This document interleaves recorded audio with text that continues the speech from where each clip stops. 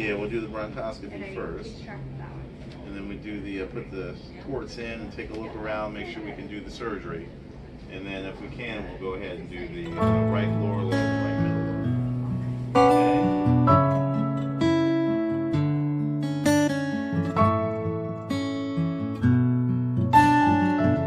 you know, pericardium, uh, and then the sort of central compartment of the chest called the mediastinum.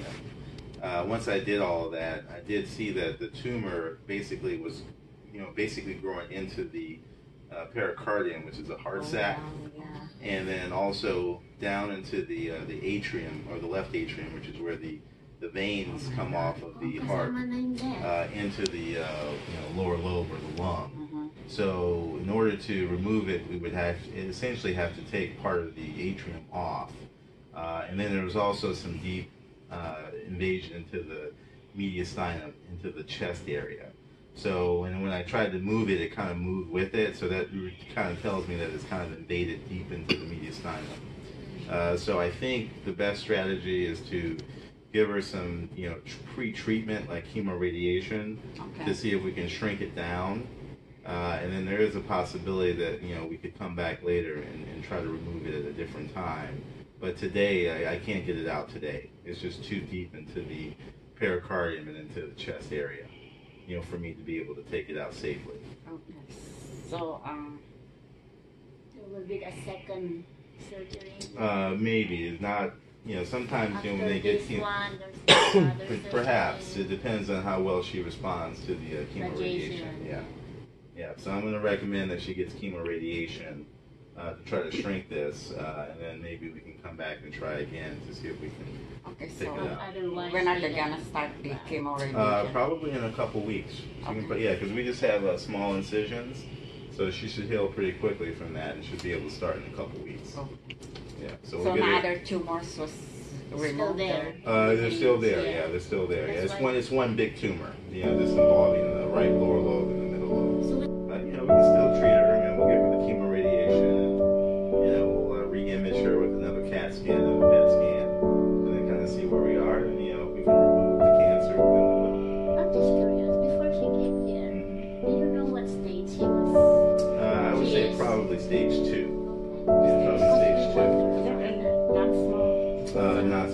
small cell. Yeah, yeah. But now with the invasion into the, you know, this time it's probably like stage two B or, yeah, probably stage two B. Yeah. That's close to the.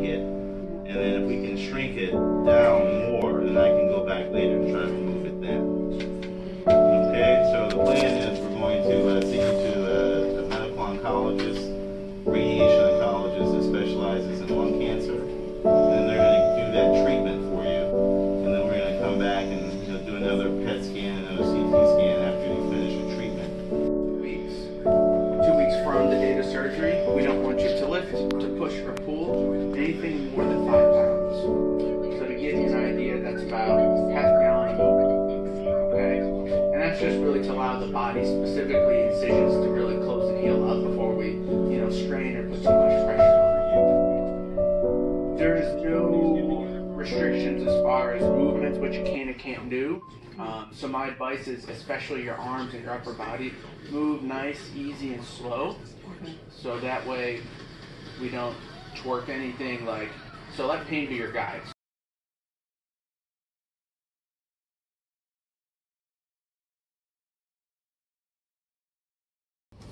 You do just if you do surgery versus surgery uh, chemotherapy and radiation?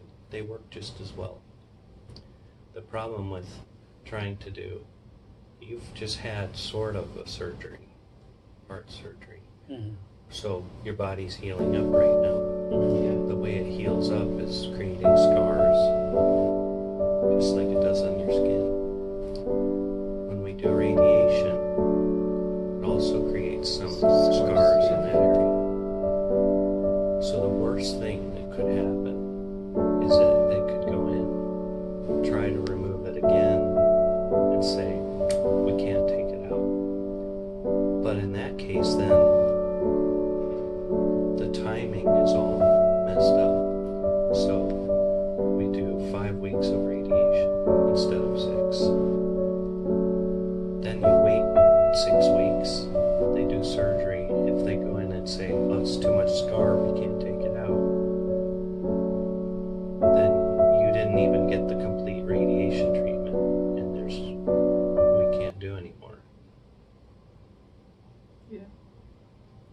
Does it make sense? So if there's a lot of scars, it's, Well, you've had since when you had surgery. Now I you're, it's going to I have a create some scars scars on the inside, Mhm. and radiation will do the same. Create some scars. That's how your body heals up from anything. And so, I think that that uh, uh, it would be challenging for them to do that. And I'm worried that it, it, there is no problem with them in general, I don't have a problem with them trying to do surgery. The problem is that you don't get a full course of radiation. I can draw on this. It's not best. Um, so, what we talked about doing is six weeks of radiation and chemotherapy. Um,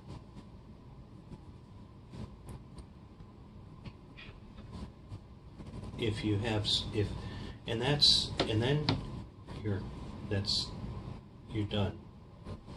It's complete, complete treatment, full curative treatment. If, um, if they wanted to do try surgery afterwards, you would have about five weeks, which is not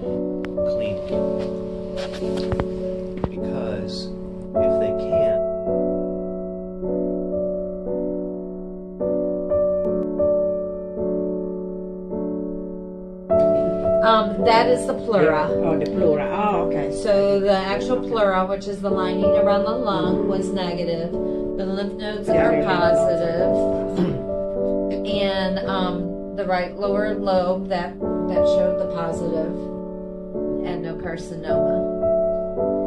Um, and then we also looked at the different genetic testing in the PDL1.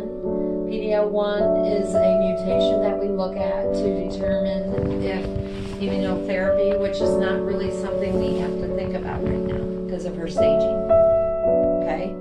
But just to kind of tell you so that I got you up to speed with all your information. so it's final. It's 3B. yes, 3B. So there's a 3A also. yeah. So 3A. She, so she's worse than that, right? Um, 3B is still um, curative. You can we're, we would still do definitive radiation. So it, it is still definitive radiation with a curative intent to shrink. It's stage four when it is no longer curative. Okay, so what is good is it's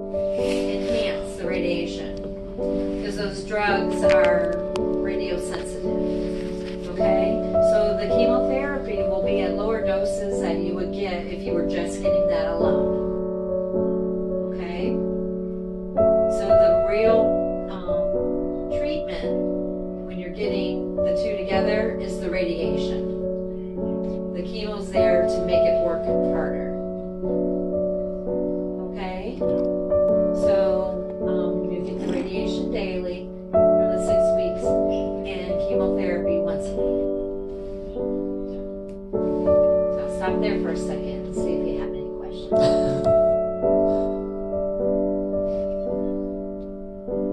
Good. It really doesn't change anything that people have been telling you, so don't get fixated on the number. Mm, okay.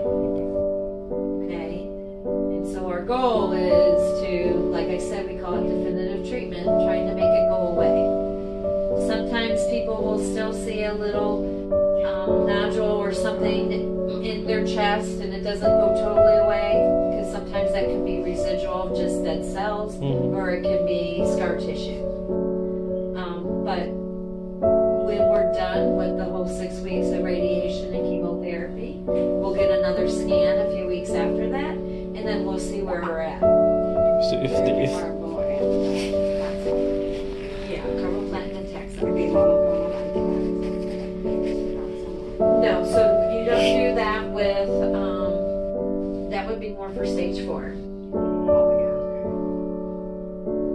If it had moved, what she's asking me is immunotherapy. If you if the cancer was in another organ, um, yeah okay. yeah, such as the pancreas, the liver, the bone, the brain, um, which we have no evidence of that. That's why she's limited to the chest. Yeah. hmm um, then that's where immunotherapy comes in. And so, whenever somebody has adenocarcinoma, so she's more specifically adenocarcinoma. So, with non small cell, you have um, squamous cell and adenocarcinoma. And with adenocarcinoma, um, if you were stage four, we would look and see how we would treat you. So, we look at the genetic markers, and she doesn't have any mutations to that. We look at the PD-L1, and it's less than 1%. You want it greater than 50%.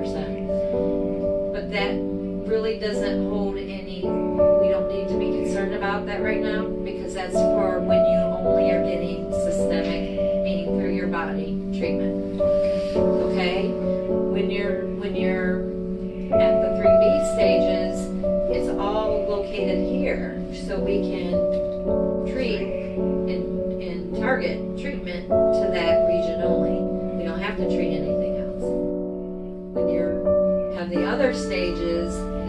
places, we couldn't do that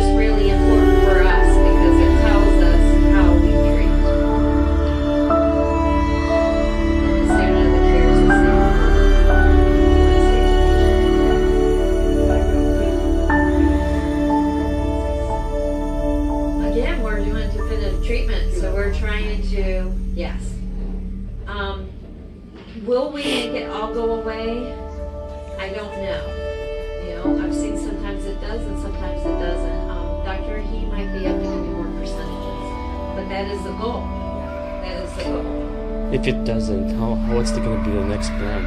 Um, Like after six weeks, is- when she's done with the chemo rotation. typically, when you have a patient that does the chemo radiation, it shrinks it pretty low. Um, if it doesn't go away, it shrinks it pretty low. So then what we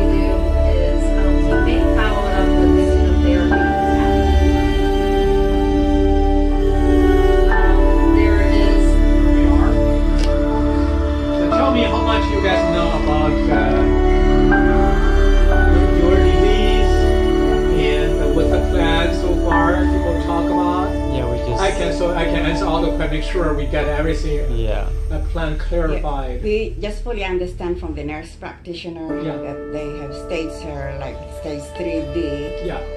which is, yeah. We just need to We just know it today because before Dr. Merritt told us it was stage 2B. And then it's because of the lymph nodes probably that they Yes. have seen it's all positive. So there are two things uh, make this a stage 2B. Lymph nodes is positive. And the lymph nodes, if the lymph nodes in the lung, they call it N1, it's more close to the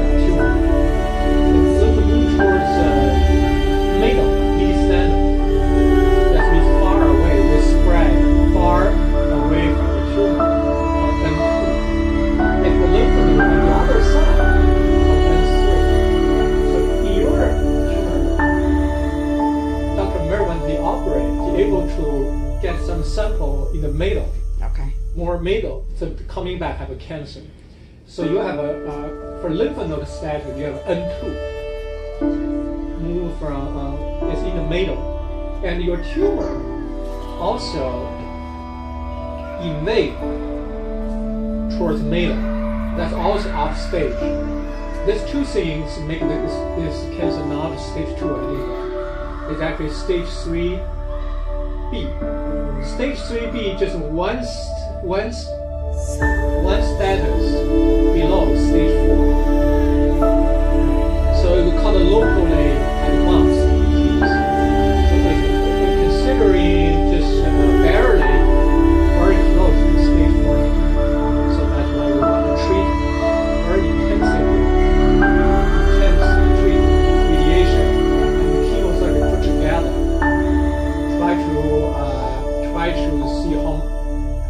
control the disease as much as we can.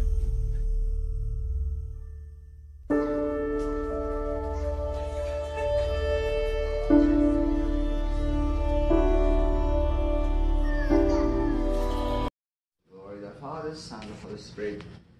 Amen. Amen. So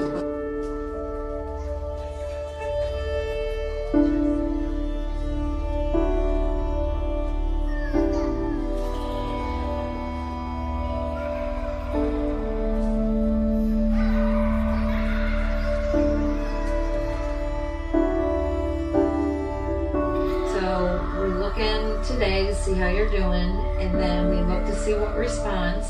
And then most likely he may recommend that we continue on with the immunotherapy. If he does that,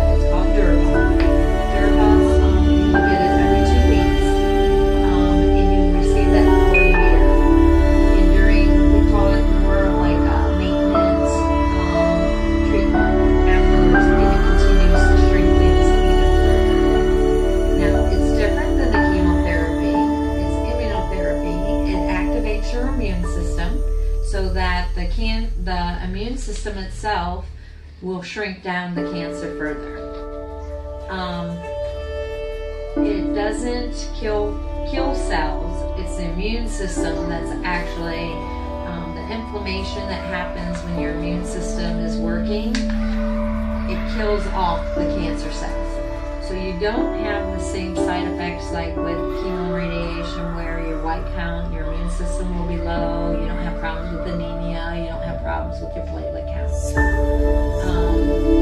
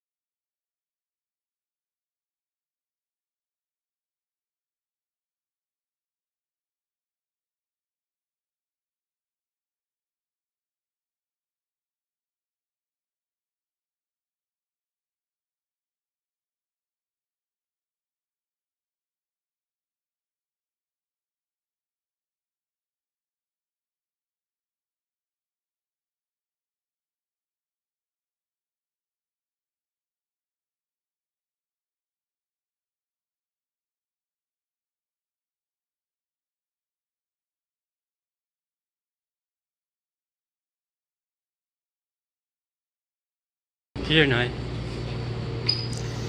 Thank you guys for watching.